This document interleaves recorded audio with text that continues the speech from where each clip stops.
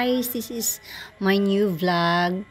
Ay, kumusta na kayo dyan? At ito ang aking ganap ngayon dito sa Samar. At napakaganda, maaamis po kayo sa aking ipapakita sa inyo. Ito ang Ibabaw Festival 2024 ng Northern Samar. Ayan guys. Kasi every municipality may boat. O, tingnan nyo guys ito ay boat namin Las Navas.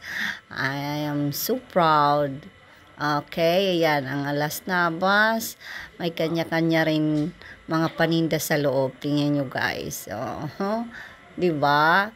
Pinopromote namin yung Pinipisakan Falls at ito ay ang kapitbahay. Ayan, pumasok kami sa loob tiningnan namin ang mga produkto din namin. Sa Las Navas may, si, may sinasabi nilang sinarungsong. O, yan.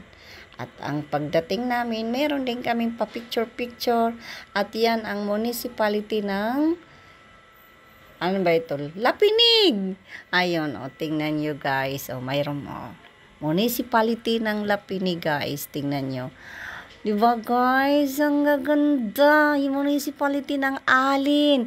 At ang pinaka-special naman nila dito na bibilhin ninyo ay may katulad pa rin, may pili. Yung pili na yan ay pang ano yan ng salad. Ayan, sa katubig ito guys. O, tingnan nyo. At ang katabi niyan, guys, ay ang aking second home, Mondragon. Ang ganda rin. Ah, maamis kayo guys. Ang dami rin mga produkto tulad din ng iba. May mga kanya-kanyang prutas, veggies. O, oh, tingnan nyo. Ayan ang sa katubig guys. Tingnan nyo. Ang ganda. May bibi. Yung bibi na yan, ang shells na yan. May kalabaw sa taas guys. Kasi yan ang pa-welcome nila. Ayan guys. Tingnan nyo. Oh, diba? Bunot yan guys. Mm. Tingnan yung kat ang katabi din nun. Parang katarman or either labisaris. Ayan guys. O, talong. O, ayan ang ceiling nila. Yung sa katubig nilang boat. O, tingnan nyo. Ay guys, sorry. Ma maingay-ingay din. Kasi nasa balcon ako. Ayan, tingnan nyo guys. Kasi every boat, meron si meron second floor. Parang pa paano nila pagganap para makita daw namin ang view. Kasi pa-contest pala ito every municipality. So, since yan ang ganap dito sa taas ng katubig na boat, ayan, umakyat kami kasi meron kaming na-discover. At ang anong na-discover namin, guys?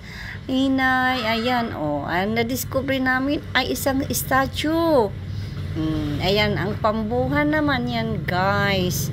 Sa pambuhan yan, guys. Pumunta kami doon sa isang kalapit na boat ay statue kasi sa Pambuhan, municipality ng Pambuhan ay may malaking statue. So, inikot na naman kami. Ikot, ikot ng ikot kasi mga 5 PM pa lang yan guys. At yan, nakita na namin dito.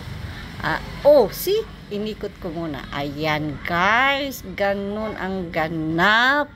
'Di ba? Ayan. So, tuloy-tuloy pa rin kami lakad at ang aming nakita ay isang boat din na parang ano siya, ilan siya. Oh, ayun. Ayan guys. Oh, di ba? oh, ito ang lawang. Visit lawang. Oh, di ba guys? Ang ganda rin. Yan. Pero hindi kami pumasok doon sa loob kasi ang ganap doon katulad din sa amin ang mga paninda yan municipality ng Lawang pero ang ganda ang ganda talaga guys. Agoy tumuwad na tuwad ayan oh ito naman ay municipality ng Kapul. Oh you see? Hmm, tingnan nyo guys. Ang gaganda. Maamis kayo talaga guys. Mostly dito ang nagpapaparito yung may mga asawa ng mga foreigner, may pumaparito sila. Oh, tingnan nyo guys. Yan, gamay it. Ayun, ang mga pag-ano nila accent doon. Pero doon sa loob ay makikita nyo doon puro mga carving guys. Hindi na kami umakyat. Dito lang kami sa baba dahil nakita namin iba't ibang pang-display guys pero dollars. Dollars ang price kaya hindi namin nakayanan hanggang sa sightseeing lang kami guys. You see? Mm, hindi ko nga na-flash dyan ang mga prices. Ang pinakamababa dyan guys, 400 pero maliit lang na item. Mm, yan. So, ang ginawa namin sightseeing lang kasi hindi na rin naman kailangan eh, ano, tawag dito bumili kasi malalaking ano eh product. Ayun guys. So umikot kami at meron kami rin nakita ano bayan ng dagat. Uh, tapos municipality ng San Jose. Pinama, pinakamalaking isda. Oh pinakamalaking isda. Oh you see? Oh mm. tingnan nyo guys. Ang ganda. Tapos yung ano, municipality ng San Jose, yung, yung malaking isda na yan, eh sinara yan ng, ng, ta, ng tao doon na nagbabantay nila para makita natin ng maganda, ma-identify natin ang isda. So, dito muna, iikot natin kasi hindi pa na isasara kasi parang pintuan siya ayun isasara nila yan kasi pintuan nila yan sa loob at ang nangyari hinintay namin para mapicturean namin ng maganda. Ayun guys, isasara nila yan para maganda daw tingnan kasi yan ang ano nila, ang ganap doon sa kanilang bayan. Ayun, sinara na nila guys. Yan, pinakamalaking isda guys. At ang paninda dito sa gilid na puro drain mga dried fish.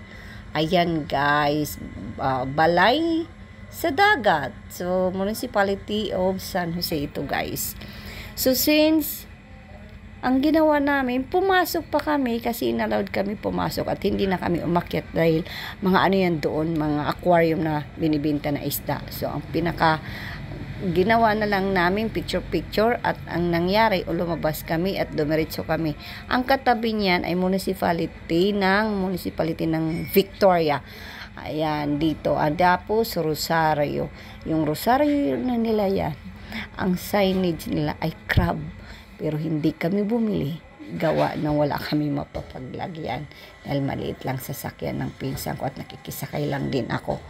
Ano, diba guys? Ang ganda guys. Diba? Mapanas. O, oh, isda din ang signage nila doon dahil yan mga malapit yan sa Pacific Ocean. Ayan, oh, Ibabaw Festival 2024. Ah, 'di ba, guys? So, lakad pa rin kami ng lakad at tingin ng tingin kami ng iba't ibang boat at may kanya-kanya rin silang mga paninda. Katulad din ng iba.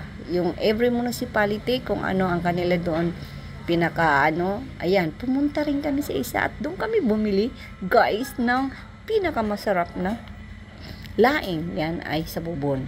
Lakad kami, dumiretso kami uli at meron din kaming nakitang din na mga simple lang pero ganap din sila ng ganyan dahil every municipality nga may kanya-kanya naman artist, 'di ba? Kanya-kanyang taste. So ang ginawa namin tuloy-tuloy lang din kami. Oh, 'di ba? May mga simple din. Oh, municipality ng Lavisares.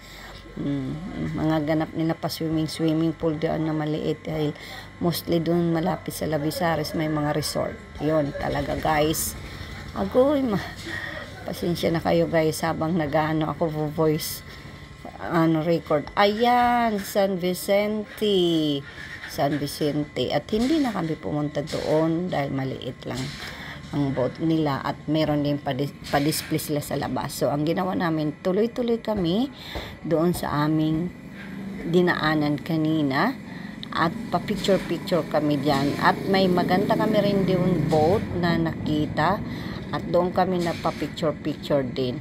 Malapit na rin kami sa gate. Ayun. Dayon po kamo. Ibig sabihin, tuloy po kayo. Ayan guys, oh, tingnan nyo. Mm, ang ganda rin ng pagkagawa nila. Parang balahibo, di ba? Oh, may picture-picture muna tayo. Picture-picture yun. Oh. Di ba guys? Oh. Katarman. Yan, ang municipality ng Katarman. Agoy, ang ingay natin. Dumaan na naman kami. Nandito kasi ako sa balkon. Katarman guys, yan ang pinaka-city namin. So since tapos na naglakad kami papunta na ng gate, at yan ang kapitol namin. Para malaking gate. Ayan siya guys. Yan. So, ito ay Ibabaw Festival 2024. Ayan guys. Oh. Thank you guys and thank you yan ang Ibabaw Festival 2024. Yan guys. Oh, 'di ba guys? Oh, yun. So thank you guys for watching.